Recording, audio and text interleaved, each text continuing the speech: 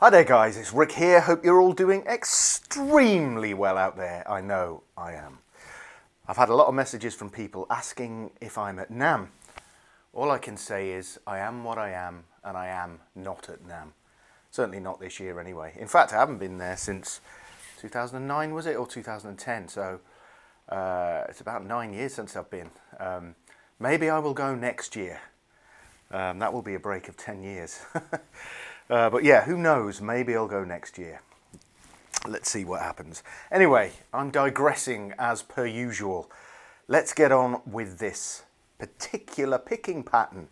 Hope you enjoyed the video at the start of this video and uh, that is going to be the subject of today's little lesson. So I'm going to take you through it as always. Um, so let's get to it. Um, we start in the key of G minor here. We're just going to follow a G minor pentatonic and it's groups of four. So nothing particularly outlandish here. Um, so we're going to start here, fret 10 of the bottom E string. And we're going to do a group, start with a group of four. Okay, so we're following uh, pentatonic position number four, so G minor position number four. But um, because it's a mixture of two and three notes per string, we're going to be connecting positions four and five together on specific strings. So we're going to start here with this pattern. It's just two notes per string for the first grouping of four. And picking wise, I'm going up, down, down, up. Okay. Then the, I'm continuing on by going. This is where we get the three note per string. Okay, that's the, the basic shape and we're just going to move that up to the uh, fifth and fourth strings now.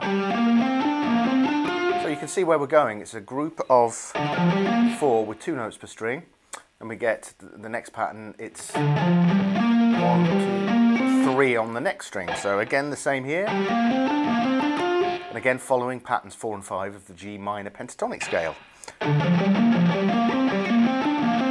Okay, same again on the next two strings. Watch out for this bit here uh, because we've got an index finger jump here. It's only one fret, but uh, up, up to speed you're going to have to be particularly careful. So.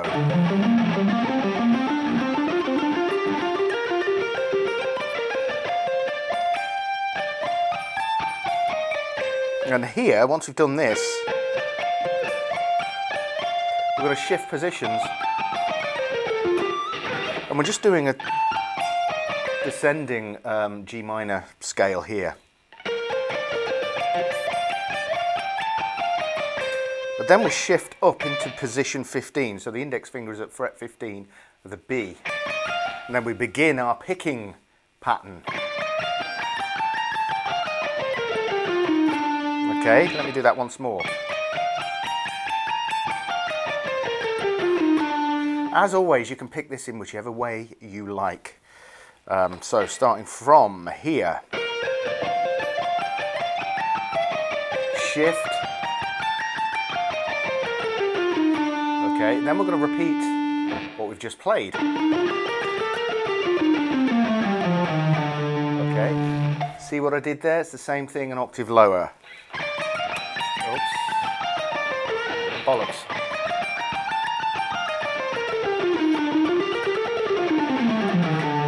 Okay, so we find ourselves here at fret 10 of the bottom E string.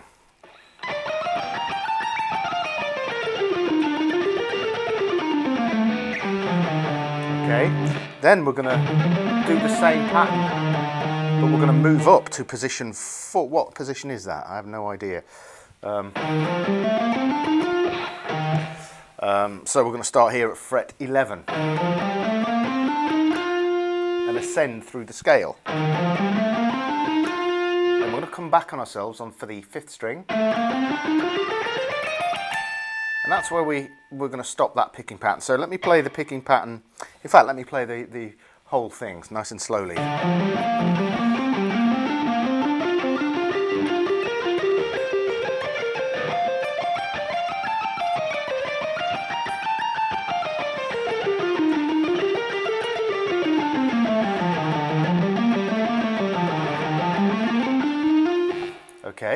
We've got to there. Then we're going to come back on ourselves. Okay, now we're on the, um, this is where we play a do, um, dominant seventh de descending arpeggio. So this becomes, this note becomes the third degree of our dominant arpeggio. And we're just going to descend. Uh, something along those lines. That's it, something like that.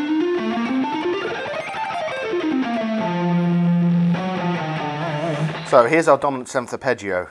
So it's just an F dominant seven. And we're going to descend through it.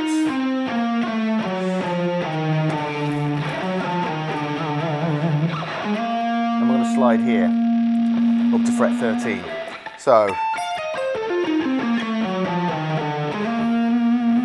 and then we get this to allow us to move back to A. Well, we weren't in A in the first place, but it allows us to move to A. Okay. Now play these two chords. Very kind of Satriani-esque. Okay, so here I'm just playing the 12th fret of the D and G, and they move in contrary motion to each other.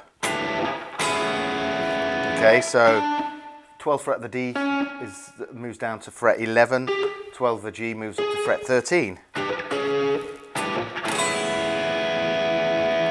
Okay, that's the whole pattern in its entirety. So as always, make sure you take it nice and slow, practice on specific problem parts, uh, slow it right down, make sure you're controlling exactly what you're doing.